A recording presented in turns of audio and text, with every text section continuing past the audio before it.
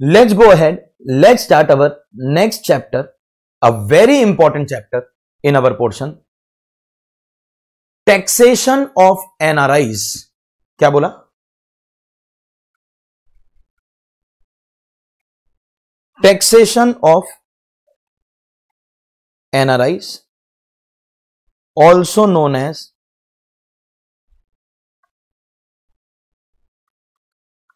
nri taxation. Taxation of NRI that is NRI taxation. Income tax के अंदर ये है चैप्टर 12 ए और इसका रेंज है सेक्शन 115 सी से लगाकर सेक्शन 115 आई सुनिए income tax is divided into chapters IPCC तक आपको खाली चैप्टर सिक्स ए पता था। Now with our introduction chapter and learning tax rates are we aware of a very important chapter, chapter 12, special rates which will apply whether you take old regime or new regime always? Chapter 12 का जो range था वो 110 से लगाकर 115 BBG observe कीजिए जहाँ पर chapter 12 खत्म हो रहा है वहाँ पर अगला ही chapter that is chapter 12 A शुरू हो रहा है this is 115 BBG and this is starting at 115C. So that was, this is chapter 12. And what is the chapter that we are currently doing?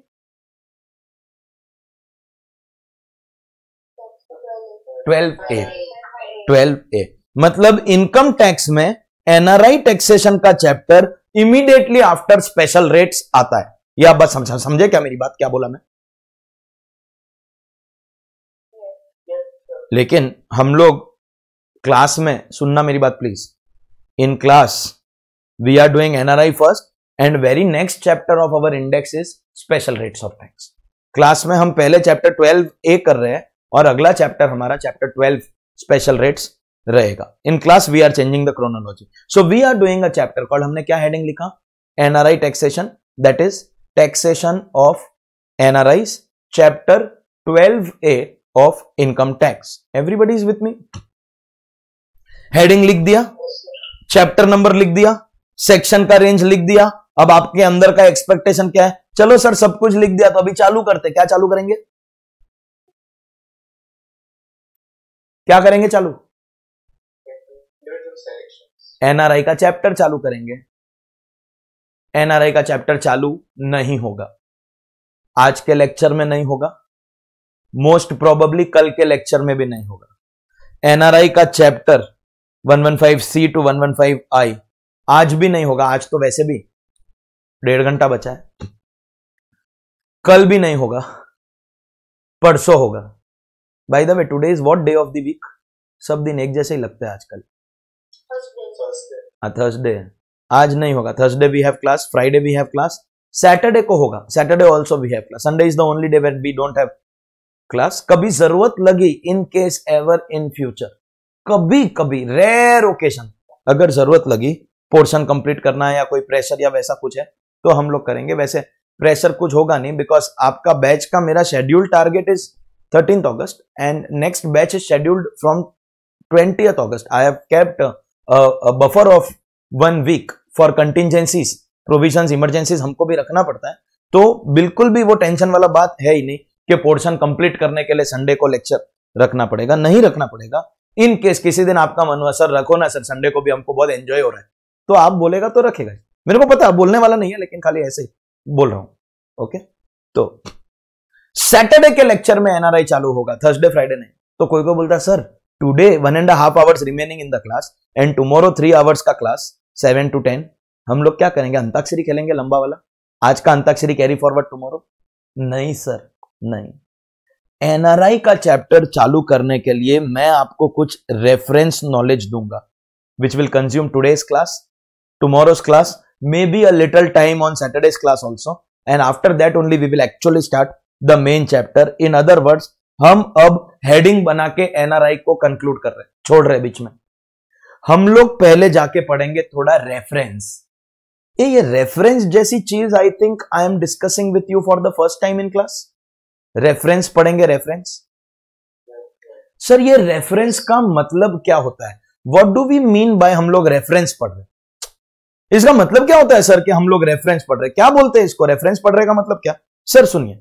Reference पढ़ रहे का मतलब यह है कि जो यहाँ पे आपको कराऊँगा is not a part of NRI chapter it is some other chapter of income tax which is also in our portion मतलब मैं यहाँ पे अंताक्षरी नहीं खेलने वाला हूँ। या मैं आपको costing S F M IDT नहीं पढ़ाने वाला हूँ, मैं आपको इनकम टैक्स ही कराऊँगा, लेकिन किसी दूसरे चैप्टर में से। सर, ऐसा क्यों हेडिंग बना के दूसरा चैप्टर बिकॉज़ अगर आपने ये पढ़ लिया, इसका दो बेनिफिट है। बेनिफिट नंबर वन आज अगर ये पढ़ लिया तो कल हमारे पोर्शन में जब ये चैप्टर आएगा, तब वापस नहीं पढ़ना है। It is a part of our portion today और tomorrow I only have to teach it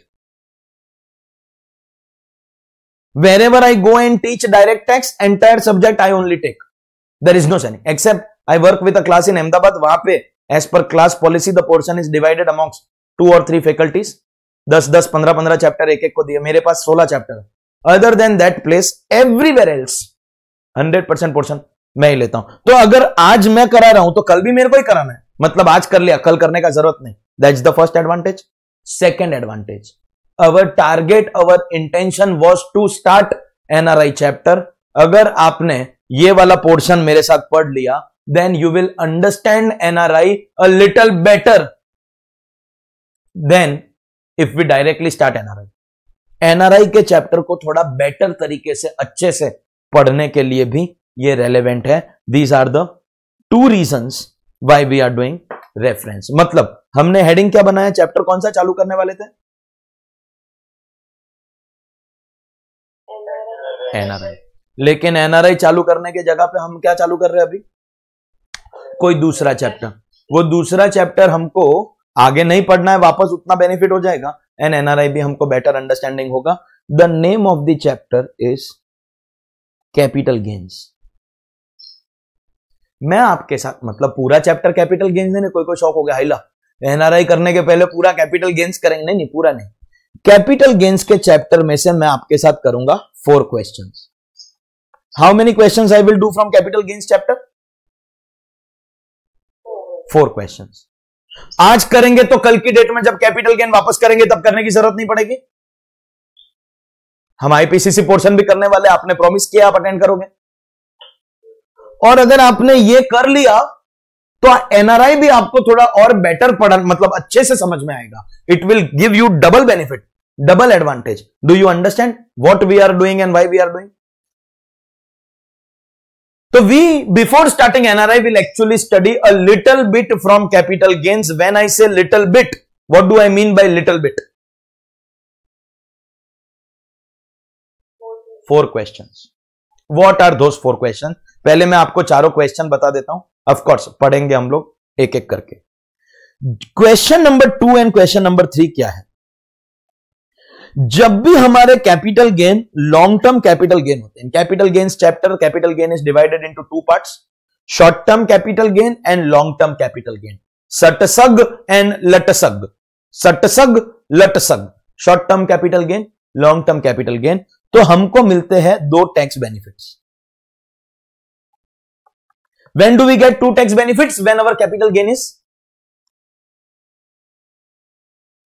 long term तो एक बेनिफिट क्वेश्चन टू में पढ़ेंगे, एक बेनिफिट क्वेश्चन थ्री में पढ़ेंगे। तो सर आप गैस करना चाहोगे क्वेश्चन वन क्या होगा?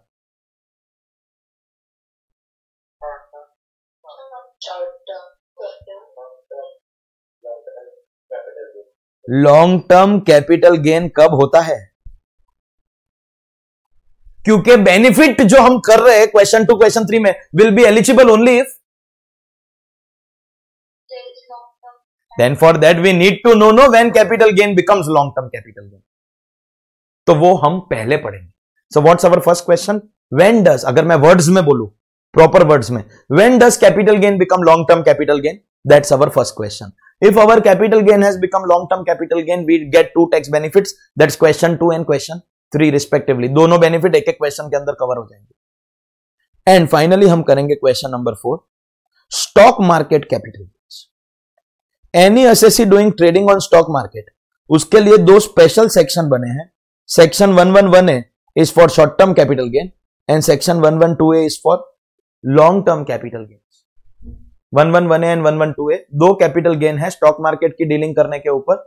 One one one A one one two A short term is one one one A and long term is one one two A जितने भी लोग ये trading in stocks trading in securities करते हैं, उनके लिए वो दो तो वो कैसे कैलकुलेशन वर्क करता है? एटलीस्ट और कुछ नहीं तो सेक्शन नंबर की रेंज को देख के इतना तो पता चल जाता है that this is a part of chapter twelve अरे हंड्रेड एंड टेन से वन वन फाइव बीबीजी के बीच में आता है कि नहीं?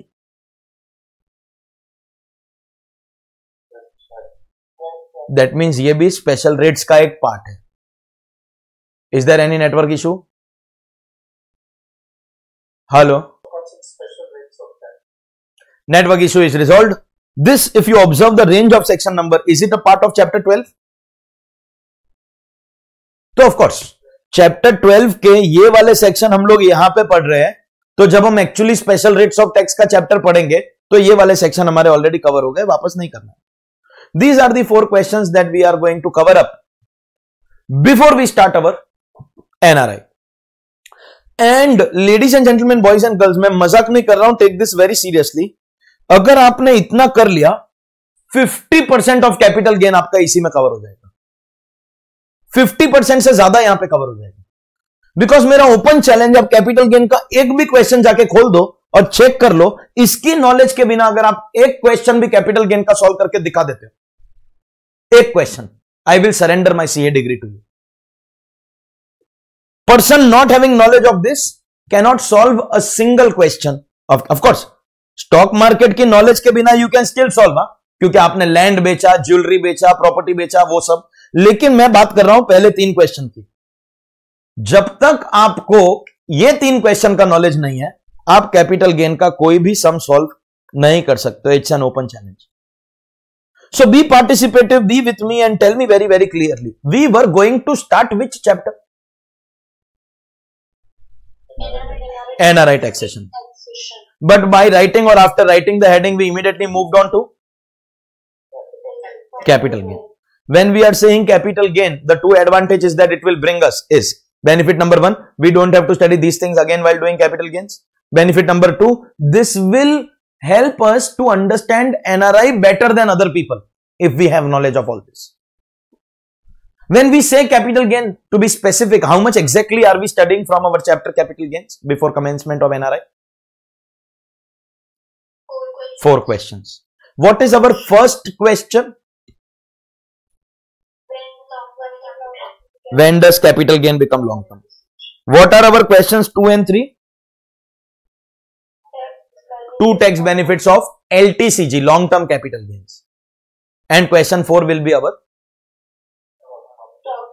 stock market एक एक करके करेंगे and this is very big fifty percent of capital gains is not a joke so it will consume today's class tomorrow's class also but this is big important and if not taken seriously it will become difficult also खास करके वो stock market वगैरह वाला part and आज जब हम ये सब डेटा करेंगे, आपके अंदर के जितने भी ओवर कॉन्फिडेंस के कीड़े हैं ना, अरे आ तो कैपिटल गेन मैंने બધું आवड़े सब इतने बड़े बड़े वाले आपके पोपट होने वाले ना, मैं मज़ाक नहीं कर रहा हूँ। मज़ाक नहीं कर रहा हूँ। शुरुआत करते हैं पहले क्वेश्चन से। Please tell me first question याद है आपको? When does capital gain become long term capital gain ये है हमारा पहला क्वेश्चन याद आता है क्या? When does capital gain become long term capital gain अब मैं आपसे पूछना हूँ, मित्रों, पूछ रहा हूँ। Yes I have assumed that you all don't know anything तुम बोला, सर, तुमने तो हर लेक्चर में हमको बोला है that I consider you as गवार अनपढ़ we don't know anything and therefore you teach us everything from the very basic I am not assuming that you know my assumption is that you don't know मुझे आपके जो wrong answers है वो सुनने हैं। आप कितने लेवल तक रॉन्ग गए हो तो मुझे आपको कितने डीप खड्डे में से बाहर निकालने का। While you answer this exceptional rules मत देना। नॉर्मल रूल बताना एक्सेप्शन हम लोग कर लेंगे। नॉर्मल में नॉर्मल सर्कमस्टेंसेस में आपका capital gain long term capital gain कब बनता है? If you are interested in participating in class now is the time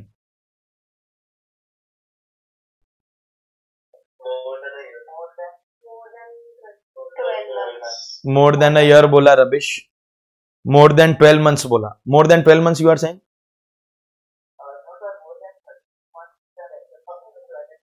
exception में ट्वेल्व एंड ट्वेंटी फोर है। मैंने इसलिए पहले बोला कि पहले नॉर्मल वाला रूल बताइए। नॉर्मल वाले में ट्वेल्व नहीं है twelve is for selected assets normal rule is thirty six जब हाँ मोर देन थर्टी सुनिए, वो चीज़ ठीक है, उसको डिस्कस करते हैं। तो मुझे यही तो सुनना था, आप कहाँ तक रॉन्ग हो और कहाँ से मुझे आपको लेके आना फ़र्स्ट ऑफ़ ऑल 12 24 तो एक्सेप्शन में हम फोकस करते हैं मेन रूल के ऊपर। एक्सेप्शंस को अलग से पढ़ाया जाएगा। Main rule is main rule is about 36 months तो किसी किसी क्लास में जब बच्चों को पूछा जाता है कि कैपिटल गेन लॉन्ग टर्म कब बनता है, वो लोग बोलते हैं थ्री इयर्स रबिश ईयर्स जैसे कि जिसने जिसने वन ईयर भी बोला ट्वेल्व मंथ्स की जगह पे.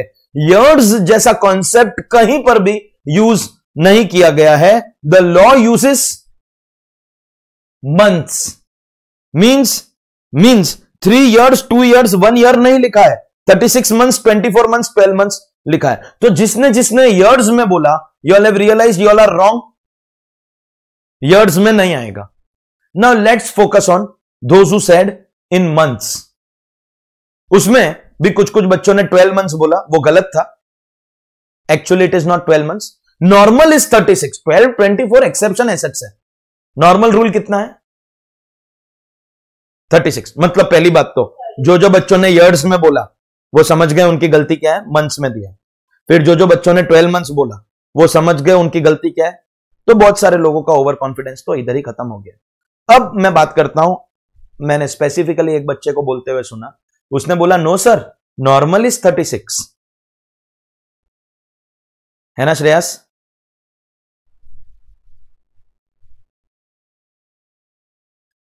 श्रेयस? नहीं बोलेगा। नॉर्मल इज़ थर्टी सिक्स तो अब तक पूरे क्लास में सबसे राइट ये बच्चा है। अब श्रेयस एक बात बता मेरे को।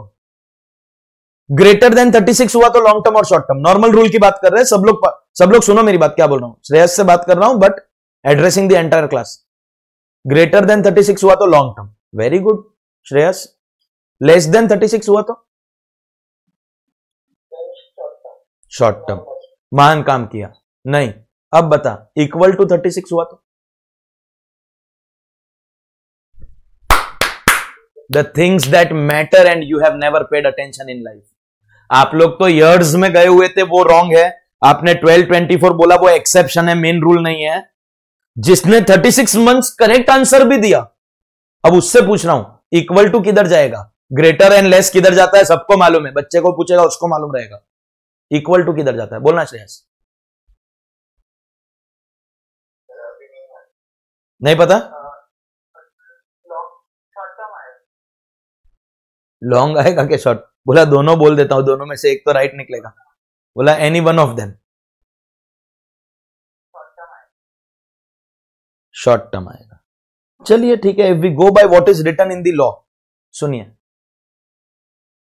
लॉन्ग टर्म के लिए it has to be exceeding the period given मतलब ग्रेटर है। मतलब less than as well as equal to both go where short term अभी ये रोहन थोड़ा टशन में इसको लग रहा है, सर, सब तो हो गया। अब तो मैंने ये भी आंसर दे दिया। मींस आर वी क्लियर के यर्स नहीं बोलेंगे। Are we clear that 12 and 24 are exceptions main rule is 36 and are we also clear that greater than 36 is long term less than and equal to both will go where अभी एक बात बोलू, ये सब wrong है। ये सब wrong है rubbish nonsense disaster Amy you are attending the class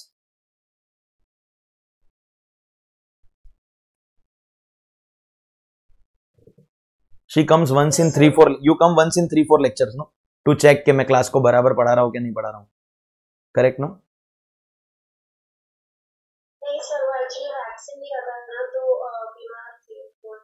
अच्छा अभी ठीक हो गए?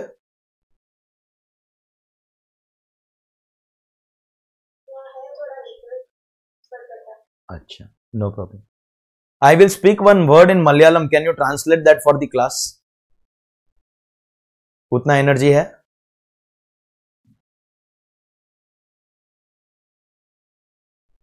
कुछ बोल ही नहीं छोड़ो, नहीं बोलता हूँ।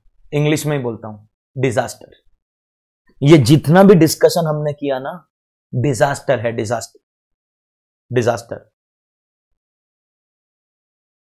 वाई लिसन अब मैं आपको बताता हूँ इनकम टैक्स एक्ट क्या बोलता है. And half knowledge is worse than no knowledge income tax act बोलता है capital gain will become long term capital gain if the asset that you have transfer is long term capital asset what is the definition of long term capital gain gain arising on the transfer of a long term capital asset is long term capital gain ये ना months लिखा है ना year लिखा है ना thirty six twenty four twelve कुछ भी नहीं लिखा है कुछ भी नहीं लिखा है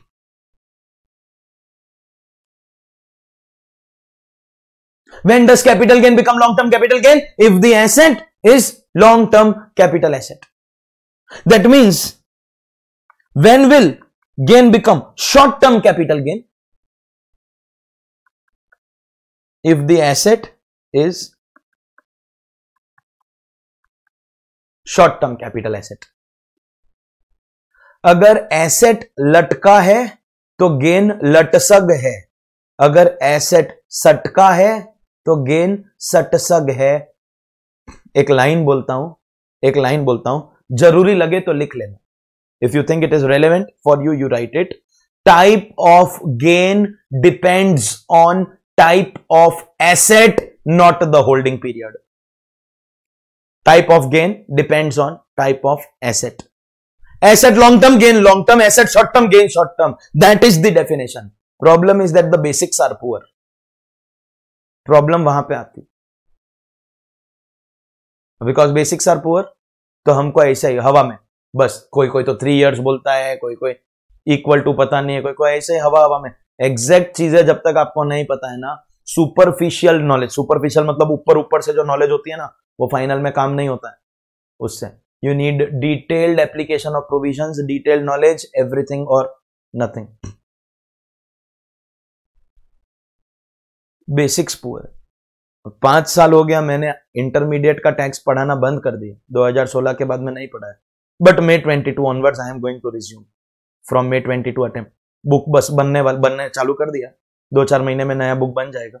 उसके बाद बेसिक अगर क्लियर होता है ना तो एडवांस लेवल पे अपने आप क्लियर हो। सो नाउ इतना शौक में मत रहो, ऐसा होता है, तुम you are not the first class in history जिसको यह आंसर नहीं पता था। किसी को नहीं पता था आज तक। घबराओ मत, आए उसके लिए। You are your to learn now you have to answer but if your over confidence खत्म हो चुका है then answer what is long term capital gain gain arising on the transfer of long term capital asset and what is short term capital gain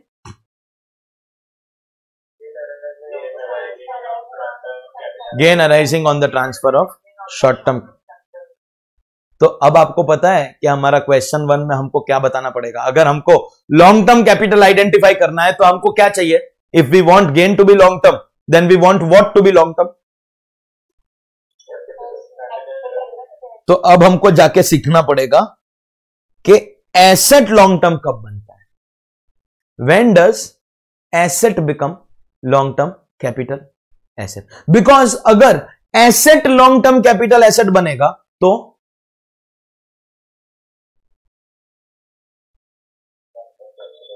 gain long term capital gain बनेगा। और अगर gain long term capital बनेगा तो question two question three अरे, देवियो, सज्जनों, भूल गए ना इस केओस में? क्वेश्चन टू क्वेश्चन थ्री क्या है? टैक्स बेनिफिट्स आप क्रोनोलॉजी समझिए।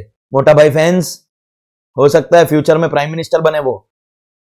तो मोटा भाई के फ़ैन सुनो मेरी बात क्रोनोलॉजी समझिए।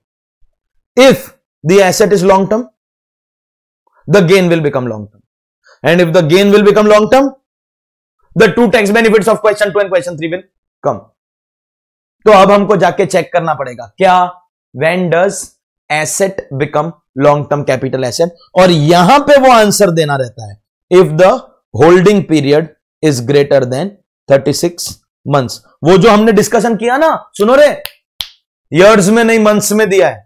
उसमें भी 36 नॉर्मल रूल है तो पहले ये लिखेंगे 1224 एक्सेप्शन है, उसको बाद में लिखेंगे। एंड तीसरी बात,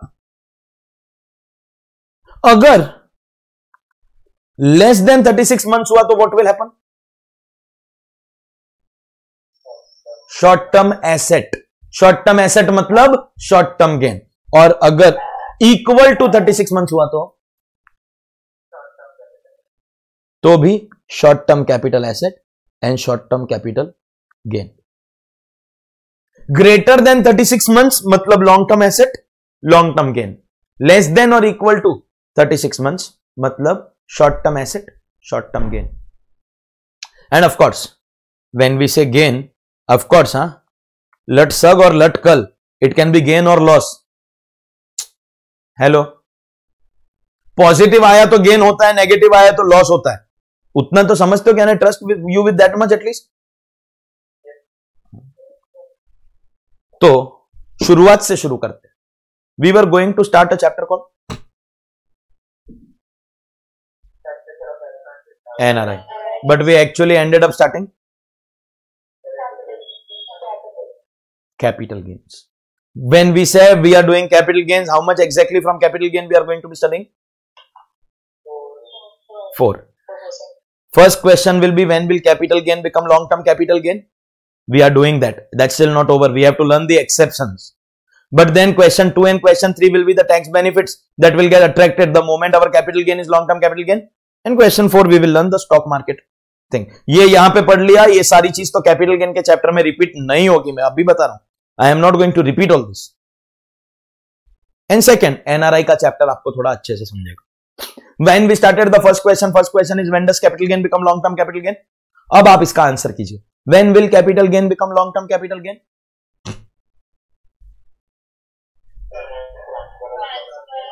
transfer of long term capital asset When does asset become long-term capital asset?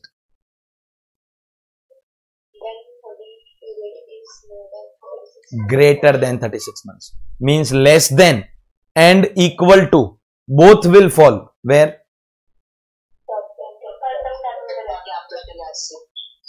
short term capital asset ये है नॉर्मल रूल अब हम जाएँगे एक्सेप्शन के ऊपर.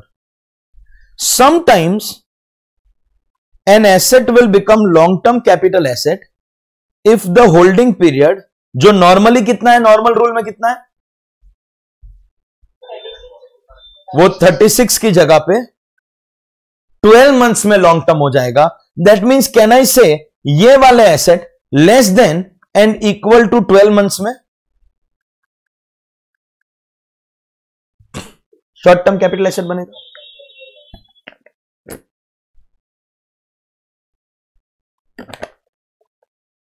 इतना कंक्लूजन तो हम सेफली ड्रॉ कर ही सकते हैं कि इक्वल टू हमेशा किसमें जाएगा? Short term means normal rule में भी ग्रेटर देन 36 होना पड़ेगा एंड एक्सेप्शन में भी ग्रेटर देन 12 मंथ्स होना पड़ेगा। ये एक लिस्ट है तीन पॉइंट की। मेरे पास बहुत एक इजी ऑप्शन है। Easy option asset number one asset number two asset number three ये तीन will become long term after 12 months. Everything else except of course there is a 24 month का एक्सेप्शन ऑल्सो उसको इग्नोर कीजिए, जो भी मैंने अभी तक नहीं पढ़ा है, उसके ऊपर फोकस मत कीजिए। Everything which does not fall here presently will go in 36 months मतलब मतलब अगर आप लॉजिकली समझने की कोशिश करोगे तो क्या आपको यह समझ में आता है? These assets will become long term faster than other assets logic समझते हो? मतलब ये एसेट्स में जो लॉन्ग टर्म की टैक्स बेनिफिट्स है, वो जल्दी आएगी कंपेयर टू अदर्स मतलब ये ऐसे एसेट्स हैं जिसको गवर्नमेंट प्रमोट करना चाहती है. And what is their promotion here अगर तुमने ये वाले एसेट में इन्वेस्ट किया तो ये वाले एसेट लॉन्ग टर्म बनेंगे after twelve months because we want to encourage investments in these three assets ये लॉजिक समझोगे? तो आपको प्रोविज़न जल्दी समझ में आ जाएगा। And my student has to be better than anybody else in the country और the planet you should not just study the provision you should also know the reason behind the provision normal rule कौन सा है? Normal rule में कितने time के बाद asset long term बनता है? 36 लेकिन इन तीन एसेट को हम लोग लॉन्ग टर्म जल्दी बनाएँगे compared to others that means tax benefit जल्दी आएगा। इतना समझते हो? ये लॉजिक समझा तो लिस्ट पढ़ने में भी मज़ा आएगा। नहीं तो बिना लॉजिक के लिस्ट पढ़ा था ना? ये पहला पॉइंट दूसरा पॉइंट तीसरा पॉइंट तुम लोग लर्न कर लेना। लॉ में लिखा है। And that can be an answer for everything यार। That can be we can actually finish 10 15 days faster than our schedule if you only stick to provision without discussing the logic that will only make you a good only make you a C and I want you to become a there's a bloody hell lot of a difference between a ca and a good ca बहुत ज़्यादा difference है। तो एक एक करके करेंगे। How many assets that are becoming long term after 12 months at least number तो मैंने आपको दे दिया। तीन डिस्कशन एक एक करके करेंगे। लॉजिक समझा? इनको एनकरेज करना है, इसलिए जल्दी करना मैं आपको एक, फिर एक बार, एक अपॉर्चुनिटी दे रहा हूँ। Anybody wants to try assets that are going to become long term after twelve months किसी को ट्राई करने की इच्छा है? एक मिनट, एक एक करके लेते आप ट्राई कर रहे हो। वैसे बाय द वे बता देता हूँ जरा आपको। Most probably it is going to be wrong answers only and that should not prohibit you from trying in class क्योंकि जो लड़ा ही नहीं, वो जीतेगा कैसे? Only those who are participating in class are trying it wrong answer होगा this is a classroom not an exam and I am not going to ठीक है, कभी हम लोग हँसी मज़ाक करते हैं, वो अलग बात है, लेकिन I am never going to get angry on a student जो रॉन्ग आंसर ऑफकोर्स जो मैंने नहीं पढ़ा है, उसके ऊपर ना, दादा पढ़ा दिया और आज तुमको बेसिक एग्जामेशन नहीं पता तो गाली खाओगे मेरे मुँह से फिर। If I have not taught anything and we are discussing give wrong answer it's okay no it's a classroom we are here to learn तो एक बच्चे ने बोला शेयर रॉन्ग आंसर दूसरे एक बच्चे ने बोला listed equity share I could to to answer excellent wrong answer anybody else wants to participate units of mutual fund fantastic wrong answer and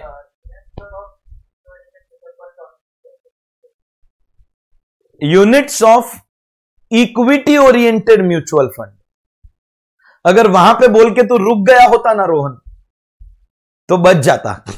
but finally उसके बाद में जो तू बोला, उसकी वजह से वंस अगेन रॉन्ग आंसर कम से कम एक पॉइंट तो हमको पता चल गया। फिर भी। रबिश तब तो तू वापस राइट को रॉन्ग कन्वर्ट कर दिया। इक्विटी ओरिएंटेड म्यूचुअल फंड ही करेक्ट आंसर था। एसटीटी का रिक्वायरमेंट एसटीटी चाहिए अगर एसटीटी भरा है ना then you will fall in these section if you don't pay STT you don't fall in these section लेकिन लॉन्ग टर्म शॉर्ट टर्म का एसटीटी से कोई लेना देना नहीं।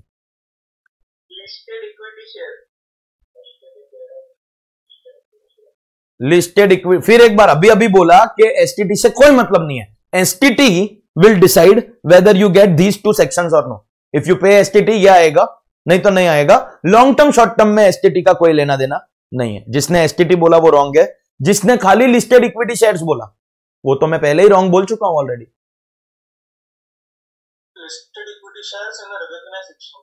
rubbish wrong answer but I am very happy that you are trying and thank you for that much appreciated अब तक एक भी राइट आंसर नहीं मिला। रोहन ने एक आंसर दिया था, वो आधा राइट था, लेकिन पूरा रॉन्ग था। एसटीटी निकाल के क्या बोला तूने? एसटीटी जब तूने निकाल के क्या बोला? तूने इक्विटी भी निकाल दिया था जब बोला था सेकेंड टाइम जब आंसर दिया था। करेक्ट है ना कि नहीं? तो फिर रॉन्ग तो अब तो ठीक है। वो एक तो ऐसे गैस वर्क में तो एमसीक्यू में तू चार ऑप्शन सिलेक्ट कर ले, बोल देना, चार में से एक राइट अल्टीमेटली तो एक ही आंसर देना पड़ता है ना। तो अब तक कोई भी स्ट्रॉन्ग कॉन्क्रीट आंसर क्लास से नहीं मिला। ठीक है. That's a part of equity oriented mutual fund only तो ठीक है। वो तो आएगा पॉइंट नंबर टू में आएगा। लेकिन वो टूटा फूटा कट कट के मरमर मर के आंसर आया। स्ट्रॉन्ग आंसर एक भी नहीं आया। Last thirty seconds anybody else any any try you want to do sale of listed securities, listed कौन बोल रहा है? गूगल हाँ, मार के आए क्या? नहीं, नहीं तो कहाँ से बोला?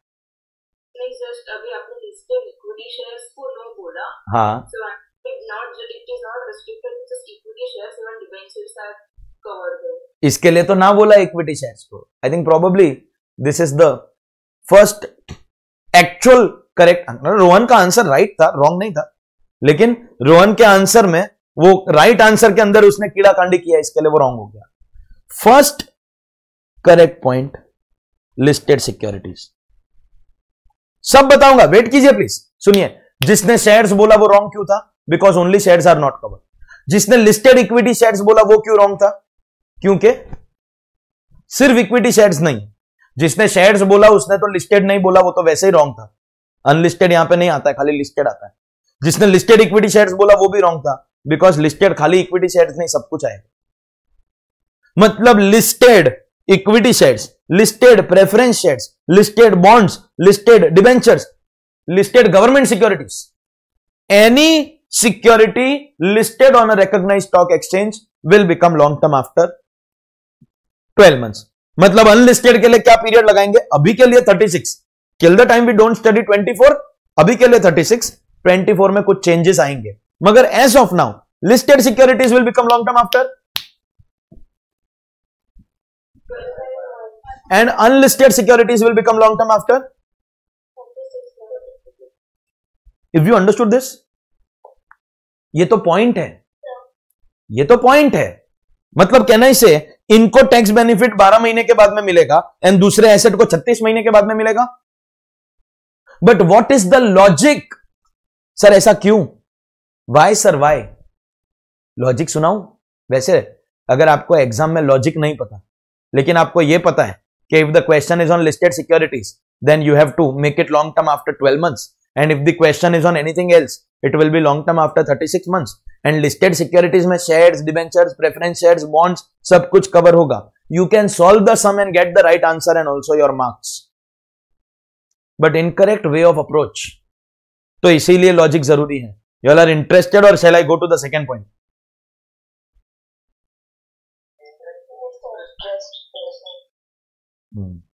Camera बंद रख रख के इंटरेस्टेड चलिए तो लॉजिक बताता हूँ। Because because of a few people I cannot be unfair to the sincere student जो मेरी सब बात मान रहे हैं, उनके लिए भी तो मेरे को काम करना है।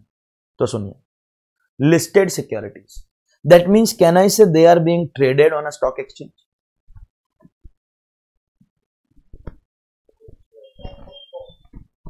और ट्वेल्थ स्टैंडर्ड के अंदर इकोनॉमिक्स में पढ़े हुए law of demand and law of supply को याद कीजिए। एल्फ्रेड मार्शल मालूम है? Law of demand law of supply law of diminishing marginal utility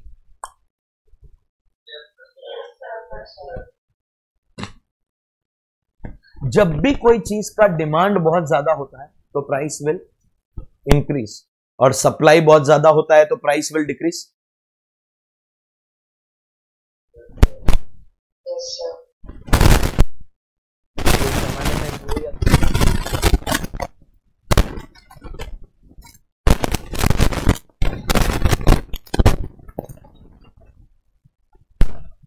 Hello hello hello I able to hear me now हाँ आपको उतना सुनाई दिया? Law of demand law of supply तो सुनिए अगर किसी सिक्योरिटीज का स्टॉक मार्केट में ट्रेडिंग हो रहा है if a lot of people come to buy demand बढ़ गया price will go up likewise if a lot of people come and sell supply बढ़ गया तो price will go down every time the price goes up down up down up down up down up down इधर heart beat भी up down up down up down होता है, समझ में आता है?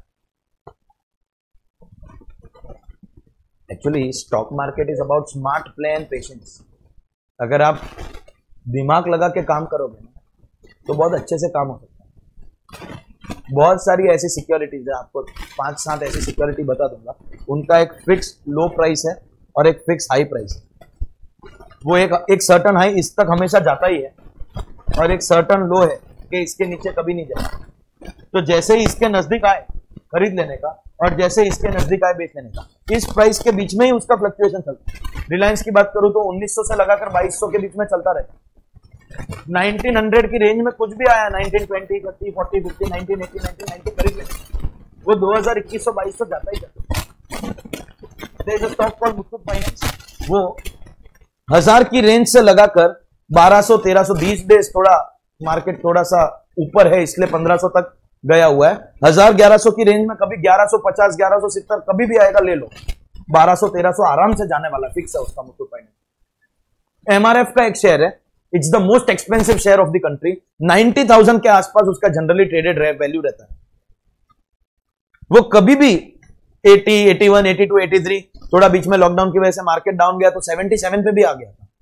70s में तो गया तो पक्का भाई अर्ली एटीज में भी है ना eighty eighty one eighty two आराम से खरीदो। वो आपको पाँच दस हज़ार रुपया एक शेयर खरीद के मतलब कमा के ही देगा हमेशा।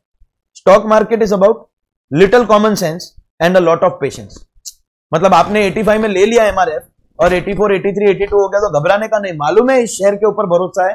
81 चला भी गया तो वापस 90 पे जाएगा ही जाएगा पक्का है। पेशेंस की ज़रूरत। ऐसे जो ट्राइड एंड ट्रस्टेड जो स्टॉक्स है उनकी बात करें।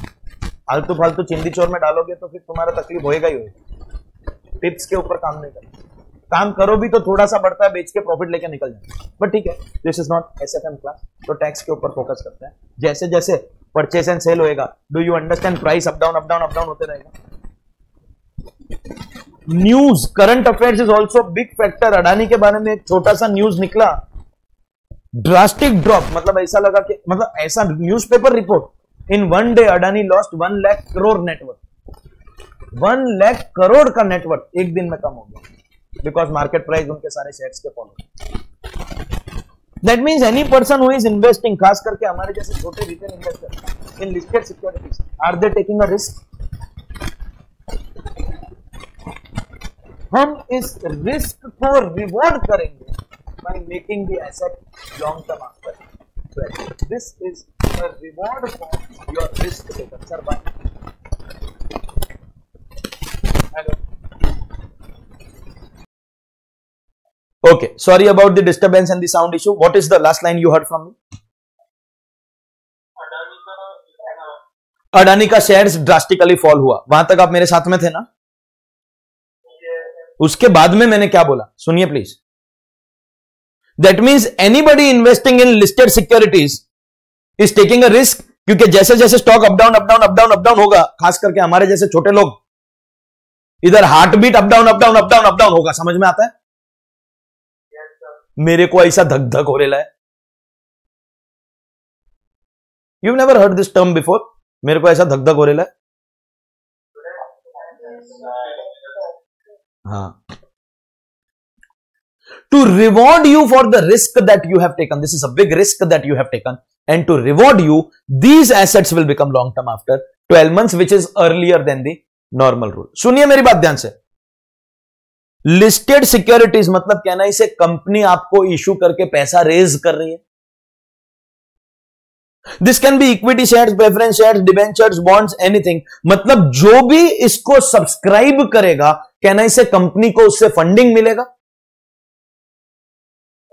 आज अगर किसी कंपनी का आईपीओ आ रहा है, आप उसको सब्सक्राइब कर रहे हो या किसी के शेयर्स आप बाई कर रहे हो मतलब कंपनी को आपका पैसा मिलेगा ना यूज़ करने के लिए। और आपकी कितनी ही कम्युनिस्ट मेंटालिटी हो। Against corporate sir why Adani is earning so much अबे, तेरे में ताकत है? एम्प्लॉयमेंट जनरेट करने का टैक्स भरने का डायरेक्ट टैक्स इनडायरेक्ट टैक्स तेरे में ताकत है? लोगों को नौकरी देने का। भाई, Mukesh bhai is earning so much money Mukesh bhai जैसा तो कोई आदमी नहीं हो सकता है। कितने लोगों को नौकरी दिया, कितने लोगों का लाइफ बनाया, तुमको मालूम है? मुकेश भाई के कोई भी स्पीच जाके सुन लो, कोई भी इंटरव्यू जाके देख लो, एक ही बात करता है I want to work for the betterment of the country education country का इंप्रूव होना चाहिए. स्टैंडर्ड ऑफ़ लिविंग हमारे लोगों का इंप्रूव होना चाहिए. घर घर में सबके हाथ में मोबाइल और इंटरनेट कनेक्शन अगर पहुँचा है किसी की वजह से, मुकेश भाई की वजह से. एक महीने का पंद्रह सौ रुपया बिल भरता था मैं मेरे एयरटेल के फ़ोन का. पंद्रह सौ रुपया एक महीने का. उसमें भी महीने का दो जीबी डेटा होता था खाली. डेढ़ जीबी महीने के दो जीबी के लिए साढ़े चार सौ, छह सौ, साढ़े छह सौ रुपया दिया हुआ अभी तीन महीने का साढ़े पाँच सौ रुपया हो गया। उसमें भी एक दिन का दो जीबी मिलता है। तुम ये लेक्चर अटेंड कर रहे हो तो मुकेश भाई की वजह से कर रहे हो। दिन का दो जीबी डेटा तीन महीने का साढ़े पाँच सौ। उसमें भी पेटीएम से करते हो, पचास रुपया कैशबैक मिलता किया ये सब कभी? अगर जियो नहीं आता ना तो ये दूसरी कंपनीज़ अपने टैरिफ को कभी भी कम करती नहीं। तुम्हारी ताकत है ऑप्टिकल केबल डाल के पूरे इंडिया में नेटवर्क प्रोवाइड करने का? तो Mukesh bhai is earning money no you should not have an objection मेरे घर में तीन फ़ोन तीन का महीने का पंद्रह सौ मतलब महीने का साढ़े चार हज़ार रुपए का जो बिल है, वो मेरा अभी तीन महीने का साढ़े पाँच सौ मतलब total sixteen fifty that's about what do I say one fifth of what I use to pay as mobile bill मेरा फ़ायदा तो कराया मुकेश भाई ने। And I want to see Mukesh bhai as the prime minister of the country very seriously it is not surprising industrialist politics में जाते हैं। बहुत पुराना सिस्टम है। हमारे कंट्री में बजाज के ओनर है। वो पॉलिटिक्स में गए हुए आपको पता है Donald Trump was an industrialist या जैसे मोदी जी बोलते हैं mister Donald Trump he was an industrialist and the richest, one of the richest people in the United States. Industrialist coming in public life in politics कोई surprising बात नहीं है। अगर मुकेश भाई प्राइम मिनिस्टर बन गए आपको पता है इंडिया में करप्शन खत्म हो जाएगा। क्योंकि मुकेश भाई को कोई जाके बोल नहीं सकता सर ये दो करोड़ रुपया लाया हो मेरा एक फ़ाइल पास करके दो। बोला ये मेरे बच्चे का दिन का पॉकेट मनी है वो। मुकेश भाई है वो समझ में आता है तुमको? कम्युनिस्ट मेंटालिटी ना नहीं चल सकती है, अगर आपको कंट्री को प्रोग्रेस करते हुए देखना है। तो इंडस्ट्रियलिस्ट को पैसा मिलना ज़रूरी है, तभी वो अच्छा बिज़नेस करेगा। किसी भी कंट्री का growth rate GDP employment generation tax revenue of the government overall development of the people and the standard of living is possible only if the industrialist is earning money and generating that income for the country तभी possible है, वरना वो possible नहीं है। और industrialist को पैसा कमाने के लिए बिज़नेस करना पड़ेगा। बिज़नेस करने के लिए उसको इनिशियल पैसा लगेगा। वो पैसा कहाँ से आएगा? आपका पैसा। आप ही तो पैसा लगा रहे हो उसके बिज़नेस में। So the moment you subscribe इसका रिपल इफ़ेक्ट देखिए। The moment you subscribe industrialist को पैसा मिलेगा। वो बिज़नेस करेगा। ग्रोथ होगा जीडीपी होगा एम्प्लॉयमेंट होगा टैक्स होगा, सब होगा। Means we want to promote people to buy these securities Having said that, those who buy these securities, are they taking a risk? How will we reward you for that risk? By making your securities long term after 12 months. Logic, logic, logic समझा क्या? I could have not gone in this much detail and told you listed securities 12 के बाद में बनता है खत्म बात खत्म समझा? बट हैव यू अंडरस्टूड कल की डेट के आपको इतना याद रखना है। लिस्टेड सिक्योरिटीज के लिए क्या पीरियड ऑफ़ होल्डिंग है?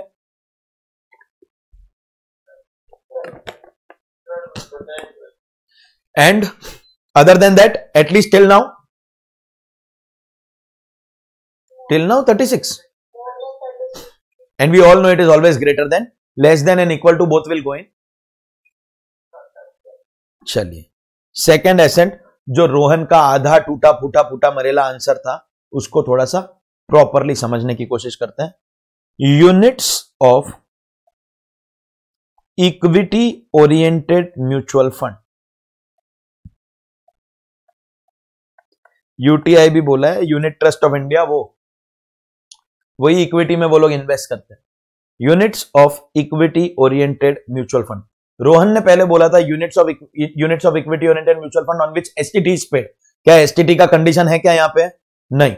एसटीटी भरना है one one one one one two A के लिए. लॉन्ग टर्म शॉर्ट टर्म का उससे कोई लेना देना फिर उसको बोला चेंज योर आंसर तो उसने एसटीटी निकाल के बोला units of all mutual funds wrong only which mutual fund will come your equity. And STT paid not paid is irrelevant. Units of equity oriented mutual fund will become long term after twelve months मतलब other than equity अगर कोई भी mutual fund हुआ debt oriented mutual fund gold trading fund money market mutual fund real estate investment trust infrastructure investment trust other than equity कोई भी mutual fund के units कितने time के बाद में लॉन्ग टर्म बनेंगे? अदर देन इक्विटी रे 36 equity will become long term after 12 other than equity will become long term after 36 मैं आपको इसका भी मीनिंग लॉजिक वगैरह सब कुछ प्रॉपरली एक्सप्लेन करूँगा, लेकिन इसको एक्सप्लेन करने के पहले एक बात आपको बताना चाहता हूँ। हमारा पहला पॉइंट क्या था ट्वेल्व मंथ्स वाली लिस्ट के अंदर? लिस्टेड सिक्योरिटीज का जो हमारा पहला पॉइंट था, उसमें वो इनकम्प्लीट पॉइंट था। उसमें लिखा हुआ है एक्सक्लूडिंग यूनिट। उसमें लिखा हुआ है excluding unit.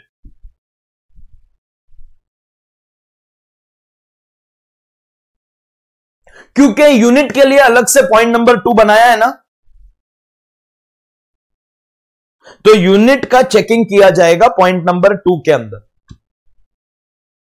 Point number one में यूनिट्स को नहीं चेक किया जाए, because for that there is a separate point.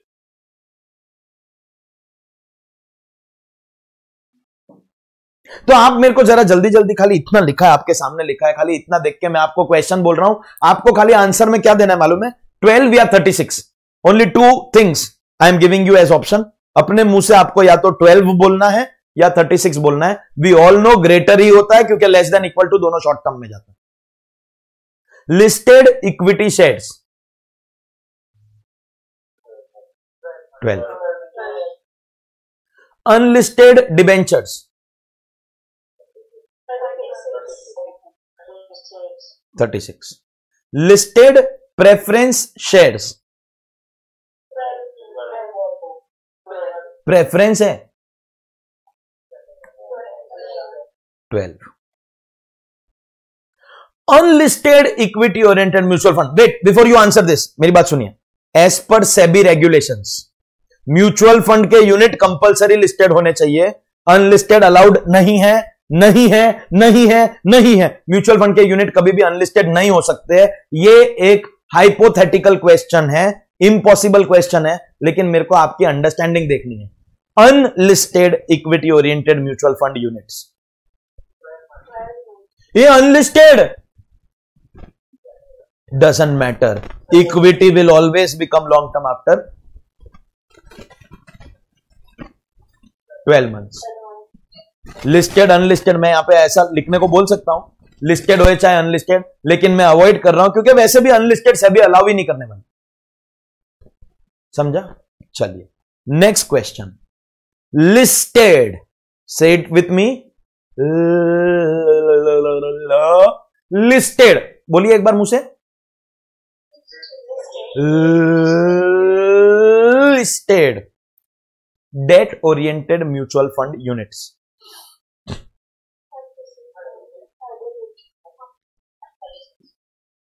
listed बोला रे।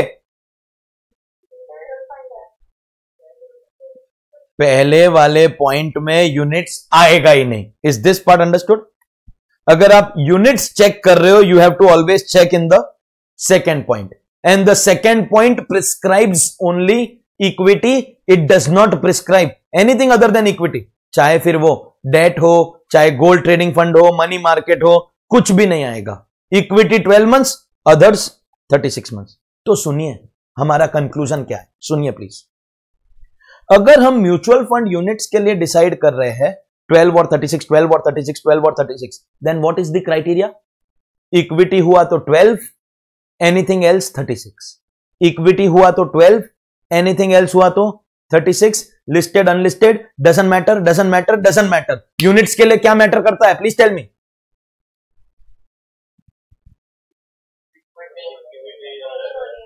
इक्विटी या others equity 12 other 36 listed unlisted doesn't matter other than units मतलब equity shares preference shares debentures bonds government securities क्या मैटर करता है? लिस्टेड और अनलिस्टेड लिस्टेड हुआ तो? ट्वेल्व मंथ्स और अनलिस्टेड हुआ तो? Thirty six months that means can we conclude units के लिए वी विल चेक सुनो अगर आप ये बात से अग्री करते हो तो फिर मैं थोड़ा और एक्सप्लेनेशन में जाऊँगा आगे जाऊँगा इस पॉइंट को कंक्लूड करूँगा। सुनो अगर आप अग्री करते हो। यूनिट्स के लिए the criteria will be listed and others sorry units के लिए the criteria will be equity and others and other securities के लिए the criteria will be listed और unlisted is this understood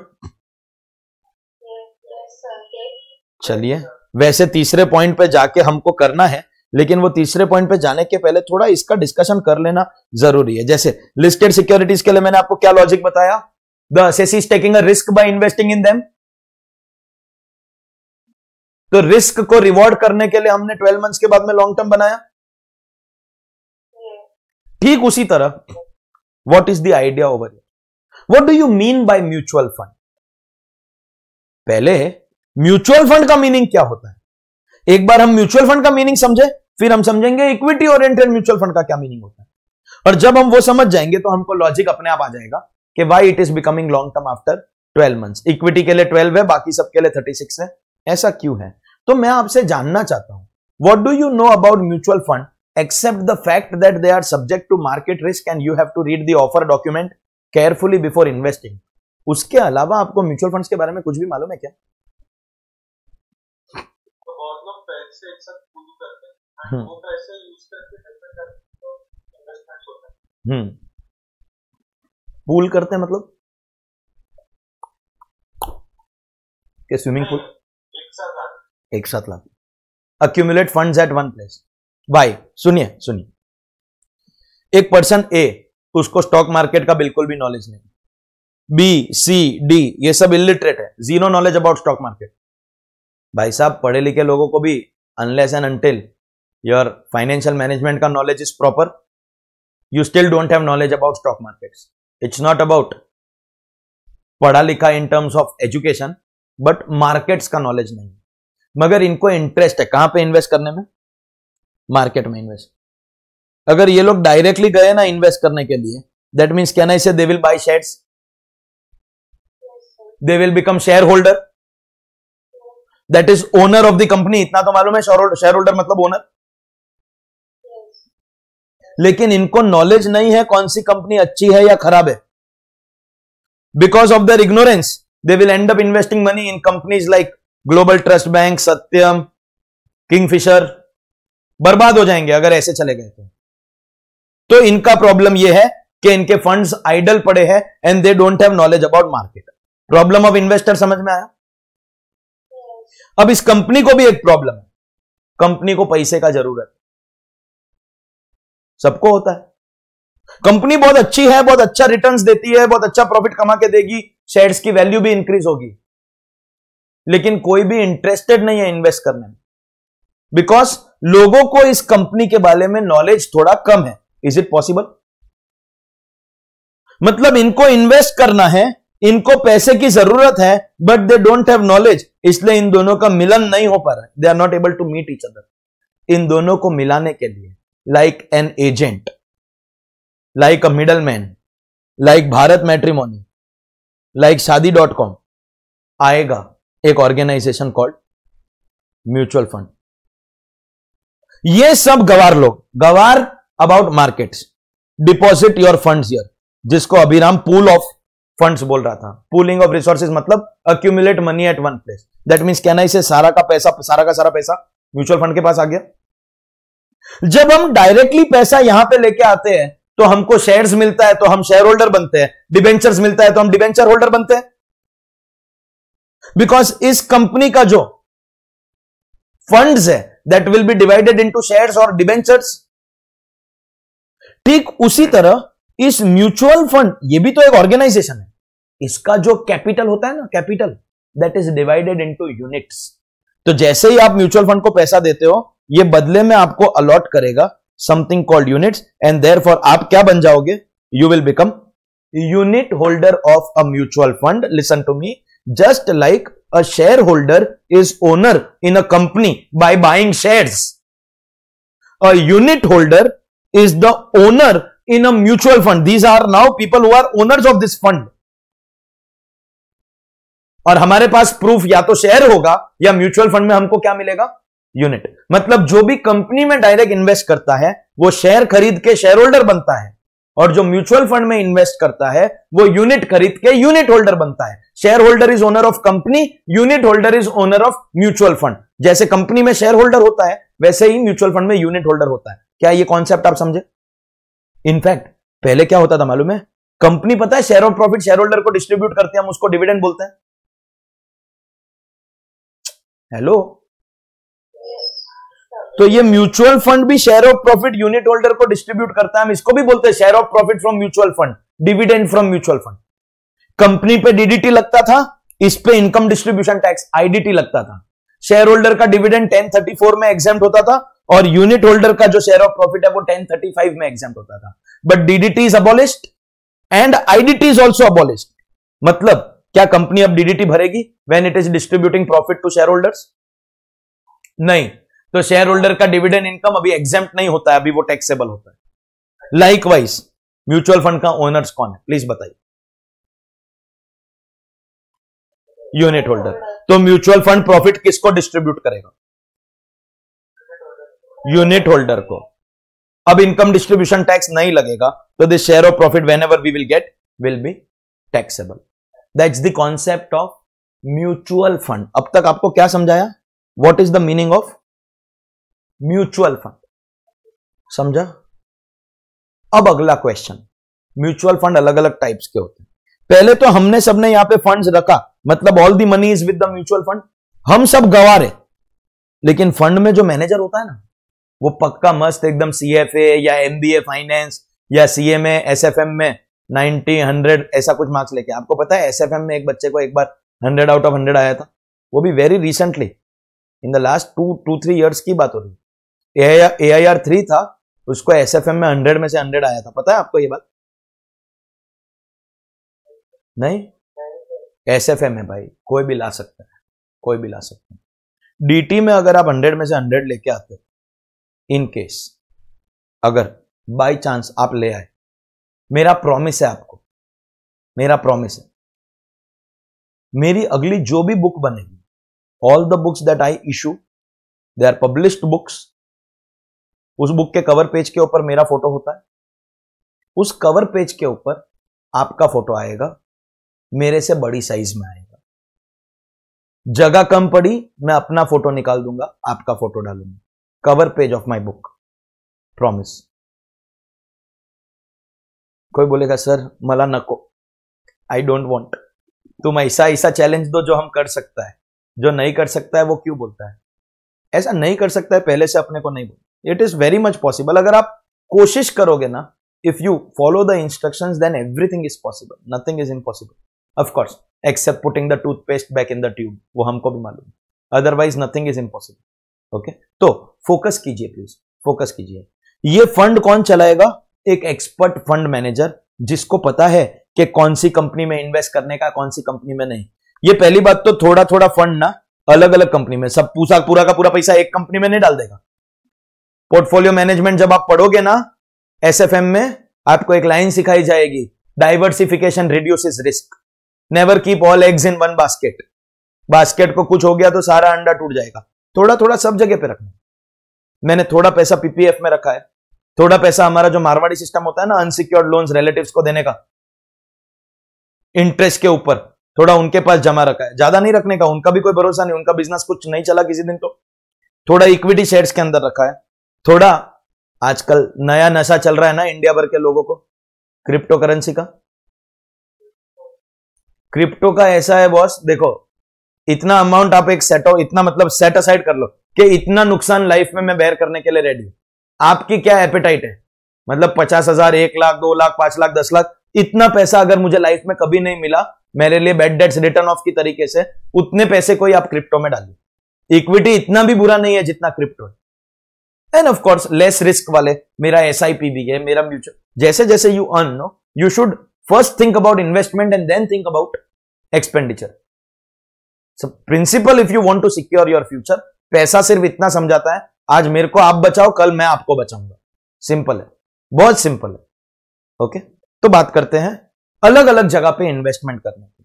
diversification reduces risk तो कभी भी पूरा पैसा एक जगह पे नहीं रखने का। कहना इससे वो फंड मैनेजर थोड़ा थोड़ा पैसा अलग अलग कंपनी में डालेगा? डाइवर्सिफाई इन कंपनी से हमको रिटर्न्स मिलेंगे that will be profit of the mutual fund in investments के ऊपर हमको रिटर्न्स मिलेंगे ना?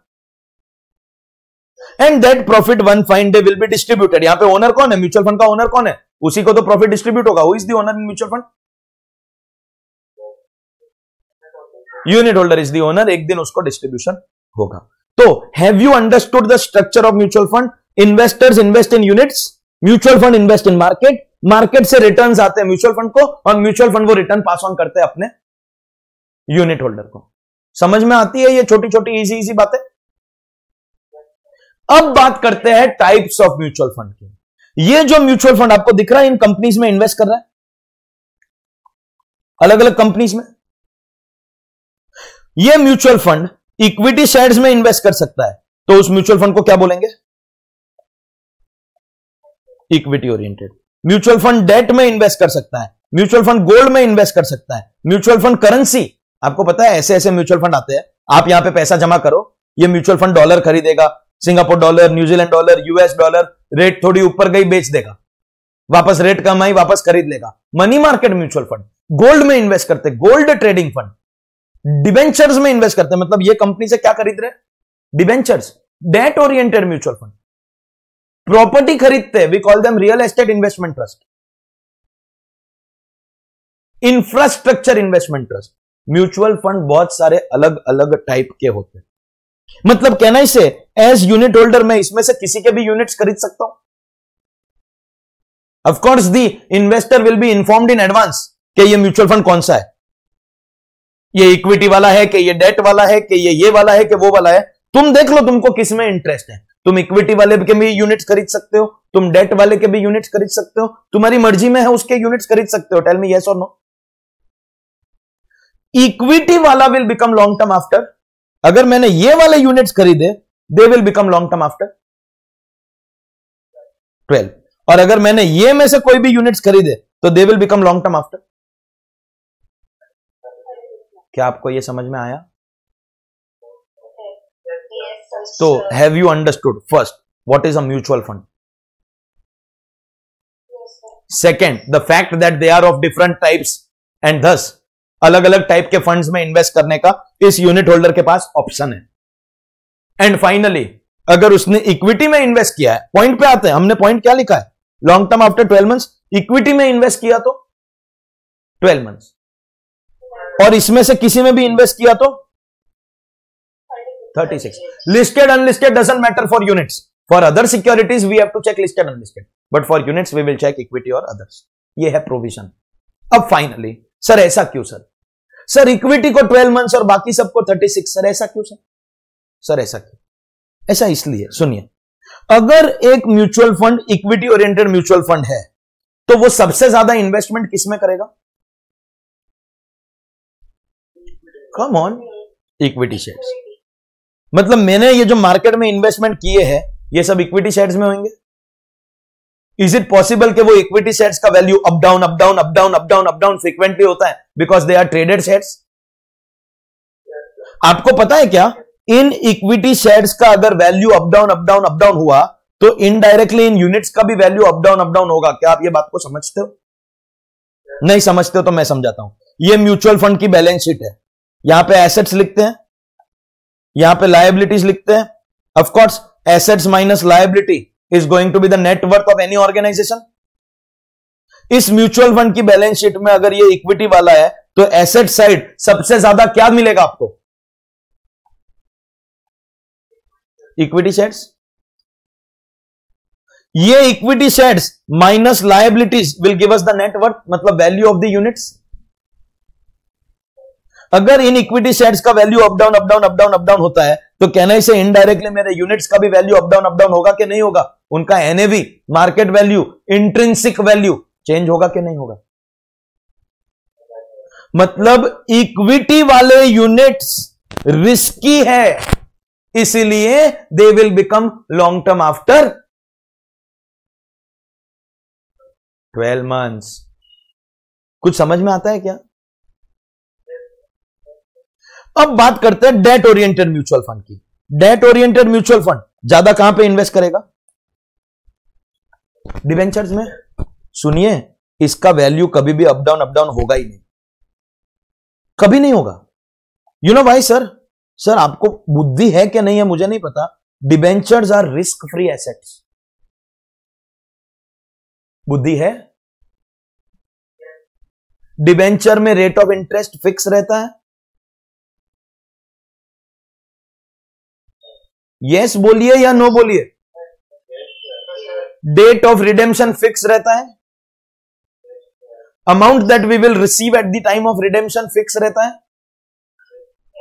तो इनकी value up down up down होगी ही नहीं, और इनकी वैल्यू अप डाउन नहीं होगी तो क्या यूनिट्स की वैल्यू में ज़्यादा फ्लक्चु थोड़ा बहुत आएगा? आई अग्री लेकिन क्या सब्सटैंशियल फ्लक्चुएशन जितना इक्विटी में होता है, उतना होगा? ये ये लॉजिक है वेदर यू लाइक इट और हेट इट एक लाइन बोल रहा हूँ। Equity units are risky Debt units are not and consequently equity units will become long term after and debt units will become long term after 36 anything other than equity will become long term after 36 months 36. is this understood Yes.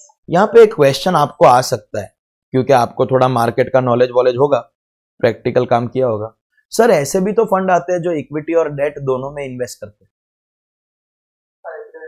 हाँ English I was waiting for this English hybrid fund English उसको क्या बोलेंगे? Equity बोलेंगे या date बोलेंगे? आप समझे नहीं मेरी बात? हमने म्यूचुअल फंड को पैसा दिया। म्यूचुअल फंड मार्केट में थोड़ा क्योटिक हो गया। वापस रिमूव करके वापस वही बनाऊँगा जो मैंने रिमूव किया है। हमने किसको पैसा दिया एज यूनिट होल्डर हमने किसको पैसा दिया? म्यूचुअल फंड को। तभी तो हम यूनिट होल्डर बने। ये म्यूचुअल फंड मार्केट में इन्वेस्ट कर रहा है। दोनों खरीद रहा है। इक्विटी भी खरीद रहा है डेट भी खरीद रहा है। इज़ इट पॉसिबल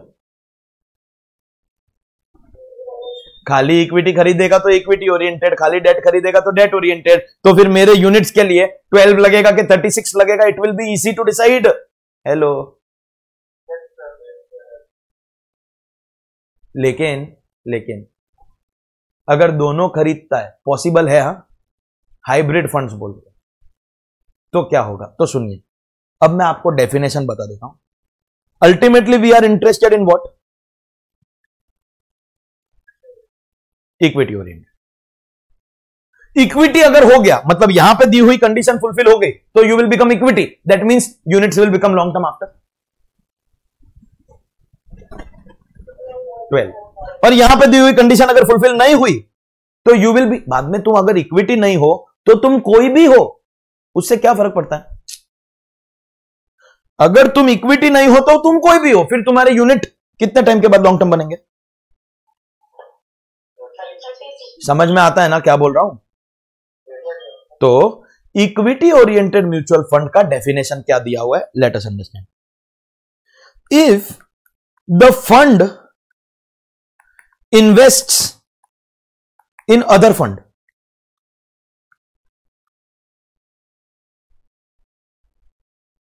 मतलब सुनिए, क्या हुआ है मालूम है? एग्ज़ाम्पल से समझने की कोशिश कीजिए। मैं एक इन्वेस्टर हूँ मतलब कहना इसे unit holder will invest in mutual fund और म्यूचुअल फंड आगे इन्वेस्ट कर रहा है। ये अगर डायरेक्टली जाके इक्विटी शेयर्स खरीदेगा तो सिस्टम कुछ और होगा, लेकिन कोई कोई ऐसे भी म्यूचुअल फंड होते हैं। ये क्या करते पता है? एक म्यूचुअल फंड दूसरा म्यूचुअल फंड में इन्वेस्ट करता है, और फिर दूसरा म्यूचुअल फंड मार्केट में इन्वेस्ट करता है। तो आपको ये हेडिंग लिखा, वो समझ में आया? That the fund in which we have invested that fund is also investing money in another fund तो ये वाला fund equity oriented mutual fund कब बनेगा? When will this fund become equity oriented mutual fund? इस fund के at least 90 percent fund दूसरे mutual fund में invest होने चाहिए। और यह वाला mutual fund at least 90 percent invest करना चाहिए इन इक्विटी शेयर्स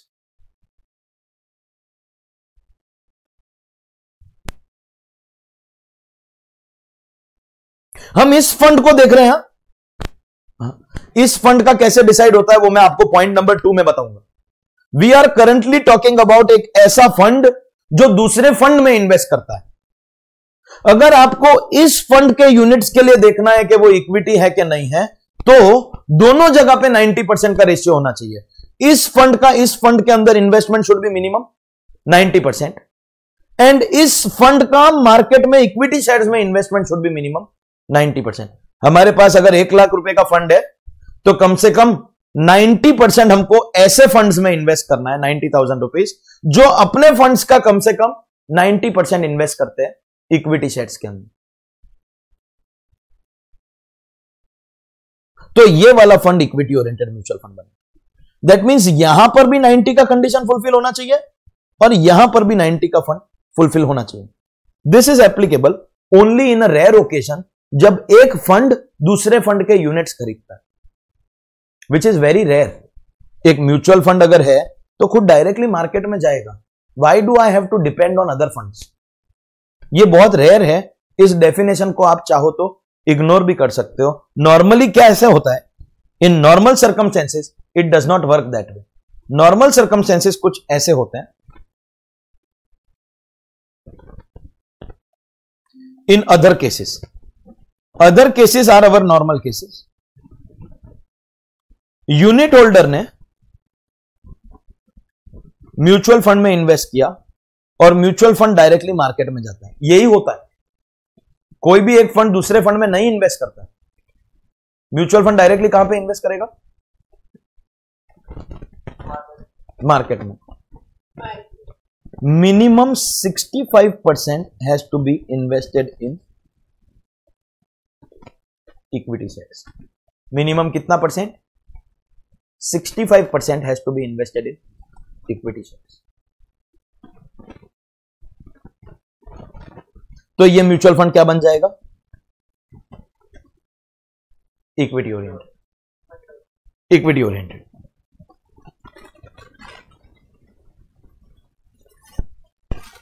मतलब अगर कोई भी म्यूचुअल फंड एक मिनट के लिए पॉइंट वन को इग्नोर कीजिए। पहले पॉइंट टू अगर समझ गए तो पॉइंट वन आपको समझ जाएगा। कोई भी म्यूचुअल फंड जिसमें इक्विटी एंड डेट का कॉम्बो होता है that is okay okay 90 percent equity 10 percent debt seventy percent equity thirty percent debt it's okay minimum equity में कितना होना चाहिए? सिक्सटी फाइव इक्वल टू या more equal to sixty five या more हुआ then that mutual fund will become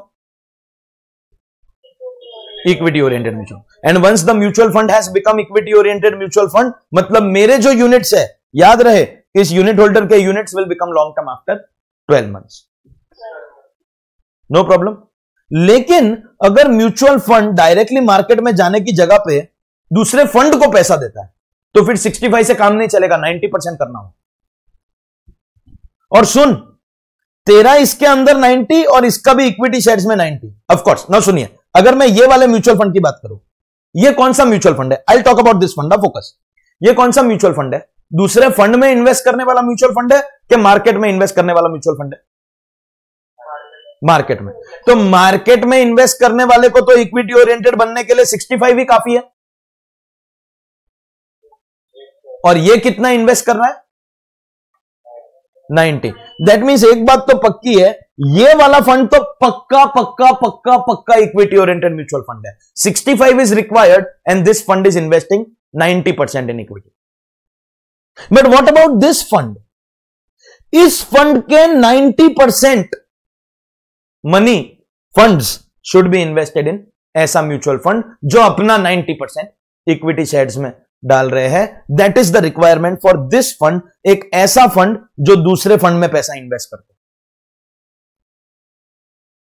which is an exceptional circumstance in practical life and in examination life ये हमेशा यही रहने वाला है। आपको खाली कितना परसेंटेज देखना है? Mutual fund is investing 65 percent और अरे ये सब तो मैं आपके साथ जो डिस्कस कर रहा हूँ ना, बच्चों, मज़ाक नहीं कर रहा हूँ। That because we are going in to too much detail about everything इसके लिए मैं आपके साथ ये सब डिस्कस कर रहा हूँ। बिलीव मी बिलीव मी आप जब कैपिटल गेन का if I have to restrict myself to C A final direct tax ना कैपिटल गेन का अगर आप सम करोगे क्वेश्चन बोलेगा, mister X has sold units of ABC mutual fund which is an equity oriented mutual fund आपका काम खत्म। आपको उसके कैपिटल गेन के प्रोविज़न को इक्विटी ओरिएंटेड है मतलब 12 मंथ के बाद में लॉन्ग टर्म बनेगा। आपको उस प्रोविज़न को इफ़ेक्ट देना। आप समझे मैं क्या बोल रहा हूँ? So when will a fund become equity oriented mutual fund जब वो मिनिमम कितना परसेंट इक्विटी शेयर्स में इन्वेस्ट करता है? मिनिमम 65 परसेंट मतलब combination of equity and debt अगर हाइब्रिड फंड्स है इज़ इट ओके इक्विटी बनने के लिए मिनिमम 65 इक्विटी में हुआ तो इक्विटी नहीं तो वो कहीं भी और जाएगा 36 मंथ्स लगे। One more question arises sir ये 65 हो गया, या ये 90 हो गया, ये कभी चेक करने का? ऐसा हो सकता है फ़र्स्ट अप्रैल को मेरा पूरा इक्विटी में है। लेकिन बाद में थोड़ा इक्विटी बेचा और डेट ले लिया थोड़ा और इक्विटी बेचा डेट ले लिया वापस डेट बेच के इक्विटी ले लिया is it possible that the proportion of equity and debt continuously changing Yes. then 65% will be checked at what point of time are you understanding the question that i'm asking you here first april 31st march middle of the year when suniye whether 90 or 65 this has to be average of monthly opening and closing average average of monthly opening and closing average English English English English English average of monthly opening and closing average बता दो बता दो, घबराने का ज़रूरत? बता, हार्दिक, एक बात बता। हाइब्रिड फंड है परसेंटेज एग्ज़ाम्पल लेना है। फ़र्स्ट अप्रैल को कितना इक्विटी था? Example percentage zero to hundred forty चल थर्टी अप्रैल को बता। 25 तो अप्रैल का एवरेज हो गया 40 plus 25 divide by two that's April का एवरेज अब अगर थर्टी अप्रैल को 25 है तो ऑफकोर्स फ़र्स्ट मे को भी 25 है। थर्टी फ़र्स्ट मे को 85 परसेंट इक्विटी तो 85 five plus 25 divide by two वो मे का एवरेज हो गया। फ़र्स्ट जून को भी 85 है थर्टी जून को 75 है।